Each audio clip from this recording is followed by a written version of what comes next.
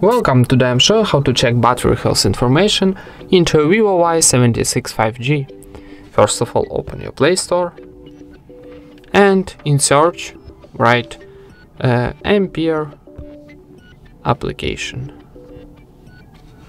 This one. Need downloading and installing, so wait a second for install.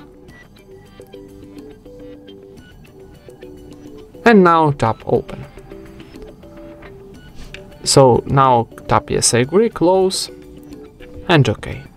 And now need swipe on the right and here in the second column on the top we got our health information about our battery. So our health battery is good. And that's it. Thank you for watching, leave thumbs ups and subscribe to our channel.